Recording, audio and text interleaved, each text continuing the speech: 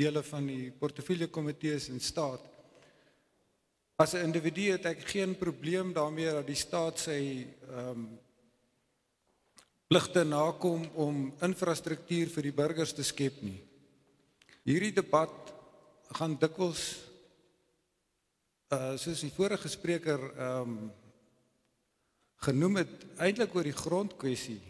Ehm um, so as die as die wetsontwerp sê dat dit 'n 'n raamwerk wil skep waar onteiening sonder vergoeding billik sou wees, dan kan ek aan min voorbeelde dink waar dit wel so sal wees. In uh